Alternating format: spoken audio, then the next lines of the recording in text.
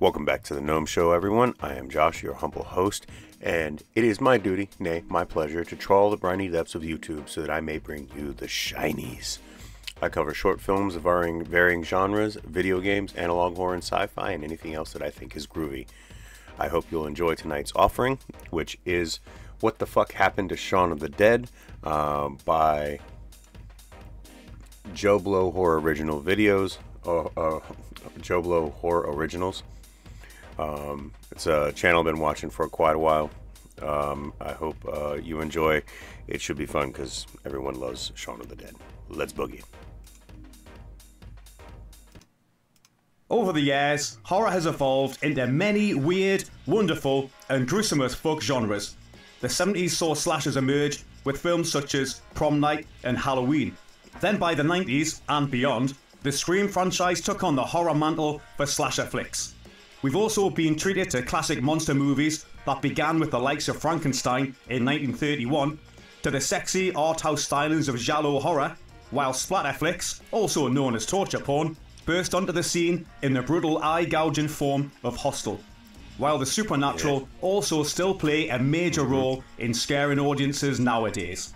Of course, these are just the tip of the spooky iceberg when it comes to the delightful smorgasbord of horror subgenres. And there's one that continues to thrill fans on both the small screen and theatrically the zombie movie. However, up until 2004, the zombie genre had offered some amazing titles, but not any that managed to shoehorn as many unexpected genres as the movie we're talking about today. Thanks to a love of George A. Romero's classics, such as Night of the Living Dead, plus an episode of Spaced, director and huge horror fan Edgar Wright helped to spawn a whole new subgenre of horror the romantic zombie comedy, or rom-zom-com, with 2004's Shaun of the Dead. It brought us a tale of slackers, family, zombies, a love triangle, and vinyl records being used as lethal weapons. But does it blend all of these elements into a gory, funny, and satisfying new subgenre? Let's find out here on What the F Happened to Shaun of the Dead. The Batman soundtrack. Before Edgar Wright entered the cultural zeitgeist with his Cornetto trilogy, starting of course, as we all know, with Shaun of the Dead, he helped to create a small screen love letter to horror and science fiction with the UK made series Spaced.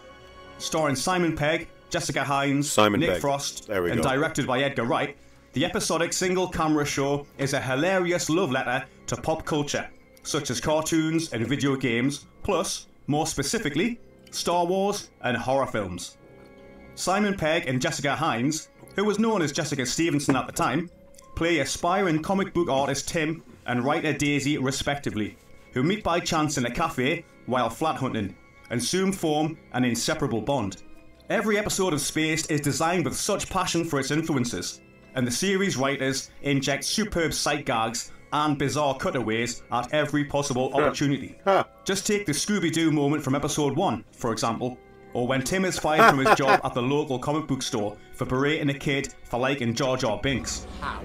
He's also seen burning a Star Wars Which I think is a reference to The Simpsons. merchandise after just watching The Phantom Menace for the first time. It's these nods and winks to pop culture, Sorry, and especially my, the uh, zombie moment from episode 3, my season work, 1, that led Spaced to ultimately inspire Shaun of the Dead. Uh, While playing Resident Evil chat 2, is going on. Tim fantasizes about killing zombies with familiar, non diegetic zombie sounds. It's hilarious, and looking back on Shaun of the Dead, you can see the clear influence and love Pegg and Wright had for the genre right there in that scene. Heads up. Okay, I'll get right to the point. Shaun of the Dead is awesome. It's funny as f- gory when it wants to be, and features endless quotable moments, all set to a banging soundtrack. Plus, Prince's Batman soundtrack gets deservedly smashed in one hilarious scene. Also, when it was released in 2004, British cinema was chucking out the likes of uh, Sex Lives of the Potato Men, a so called comedy featuring you know what? It doesn't matter. It was atrocious, and despite the UK releasing some admittedly excellent movies that year, fucking there, mate. So get in that car and fuck off. nothing revolutionary was happening for UK horror. Yet. Thankfully, then, along came a wonderkind director who had already established himself with the aforementioned Spaced, and was primed and ready to unleash his unique visual style upon the cinematic landscape. Following that classic episode of Spaced, titled Art, in which Tim hallucinates a zombie invasion while high on amphetamines, Simon Pegg and Edgar Wright set about writing their own horror comedy, with Wright describing the process as One evening, I was round at Simon and his pal Nick Frost's flat for drinks when I said we should make our own zombie movie, a horror comedy. It would be from the point of view of two bit players, two idiots who were the last to know what was going on after waking up hungover on a Sunday morning. By 1999, they'd So pitched the film basically to randos. 4, who had to pass due to a lack of funding. Other companies passed on the movie, citing their Oh, so confusion well done. about what it was trying to be exactly, simply not getting what it was. Hindsight really is a wonderful thing. Ultimately, UK based production company Working Title picked the movie up, which was somewhat ironic, given that the film mocks the rom coms they were most well known for producing. However, Tim Bevan and Eric Fellner, two of the most prominent top brass at Working Title, are shrewd operators, and, along with producer Nira Park, they knew they had something potentially very special with Shaun.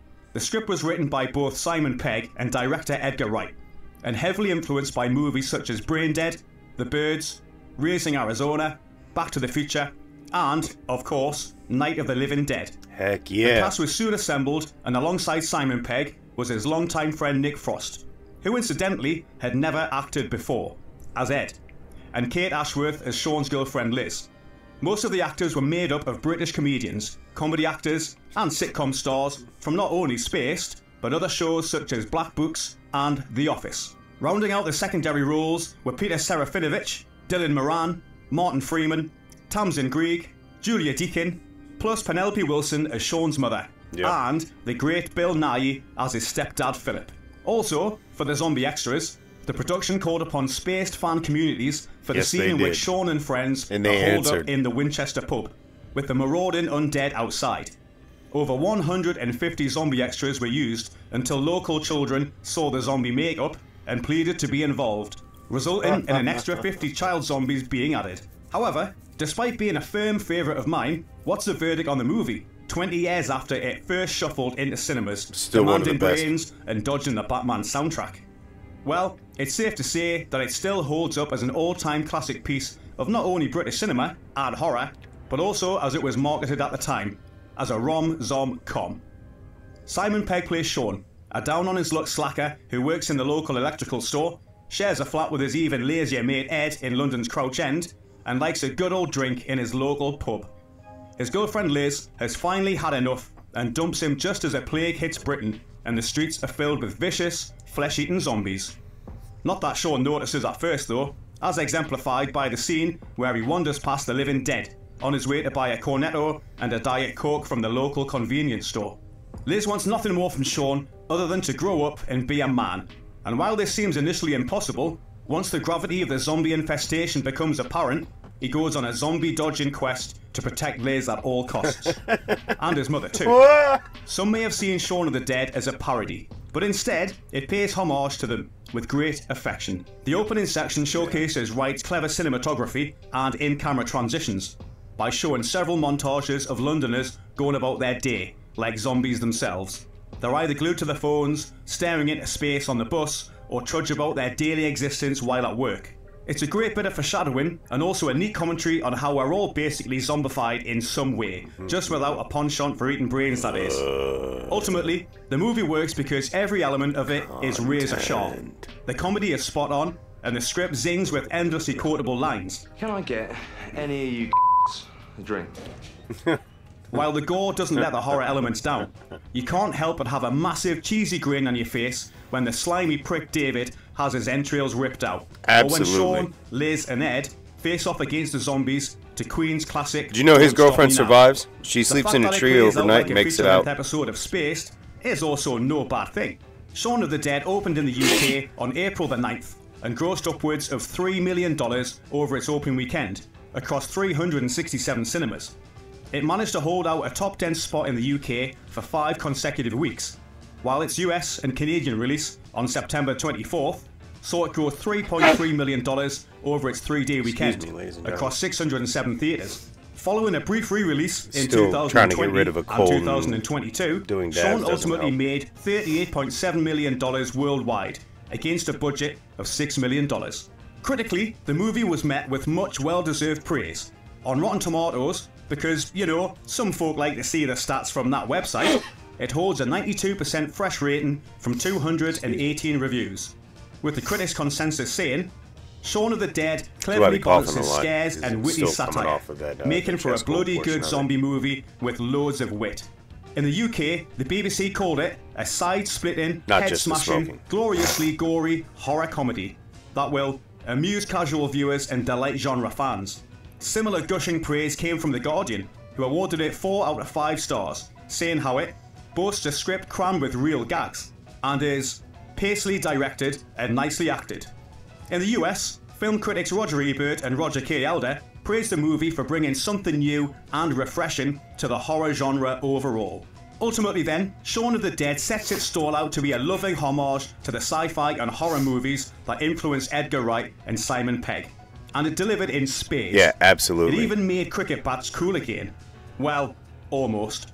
Of course, it was just the beginning for Wright, Pegg, and Co., with two more movies in their Cornetto trilogy following, with the excellent Such Hot Fuzz in 2007 and the divisive The World's End in 2013.